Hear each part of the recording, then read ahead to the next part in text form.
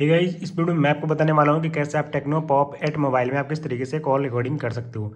तो automatic call recording करना बहुत ही सिंपल है। आपको क्या करना है, सबसे पहले फ़ोन के अपने डायलर में चले जाना है, यानी कि डायलर ऐप में चले जाना है। जैसे आप इसमें आएँगे तो यहाँ पर इस तरीके से देखने को मिलेगा। तो ऊपर देखिए सेटिंग का आइकन दिख रहा है तो आपको सेटिंग के आइकन पर क्लिक करना है।